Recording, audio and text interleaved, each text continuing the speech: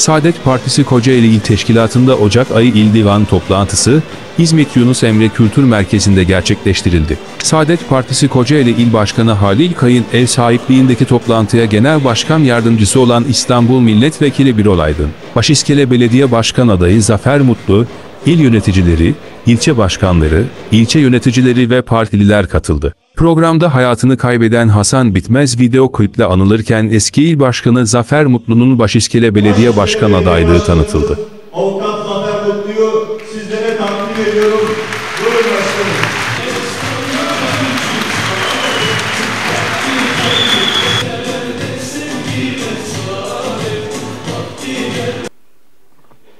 Bize düşen bu umudu Kocaeli'den tüm Türkiye'ye yayılacak şekilde yeşertmektir. Yerelden genele partimizi başarılarla taçlandırmaktır.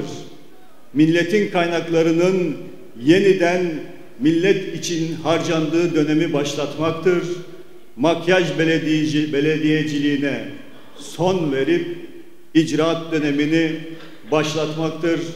Allah'ın izniyle yerel seçimler için bu akşam buradan belediyeleri kazanmak üzere seçim startımızı veriyoruz. Hayırlı uğurlu olsun. Saadet Partimizi en büyük başarılara taşıyacak gayreti ortaya koyacağımız bir ortamda bulunuyoruz. Emin olunuz Türkiye'nin gücü Saadet Partisi'nin gücü kadardır.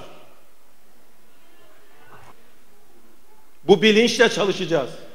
Bu bilinçle 12 ilçemizde, büyük şehrimizde, 472 mahallemizde şu kalan 3 aylık zaman içerisinde olmazı olduracak kadar, aşılmaz dağları aşacak kadar büyük bir sorumluluk ve görev yerine getireceğiz. Getirebiliriz. Kendimiz için iyi bir şey yapmak istiyorsak,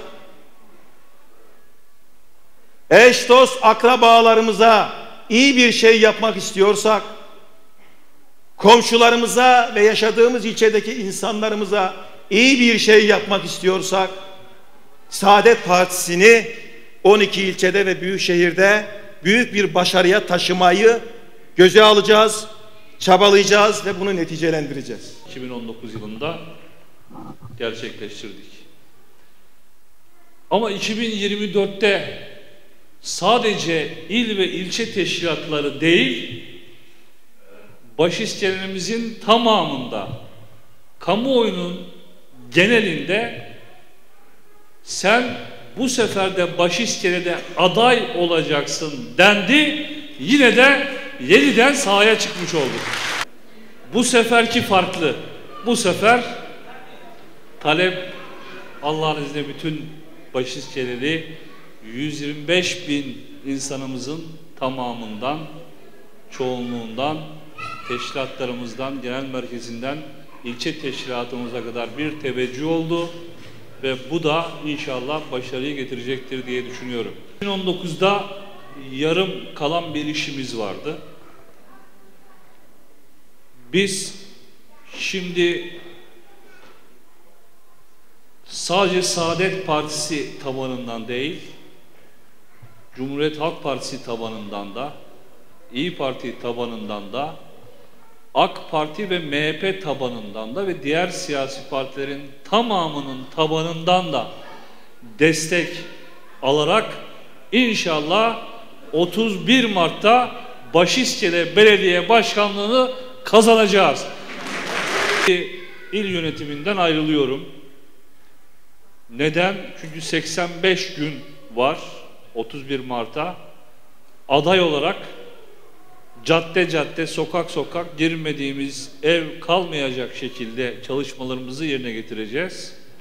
31 Mart'tan sonra 1 Nisan itibariyle de Başiskele Belediye Başkanı olarak inşallah görevimize başlayacağız. Belki görev olarak sizlerden ayrılıyorum ama kalben dava arkadaşlığı olarak inşallah ömrümüzün sonuna kadar birlikteyiz ve beraberiz diyorum. Hepinize saygılar sunuyorum. Sağ olun, var olun.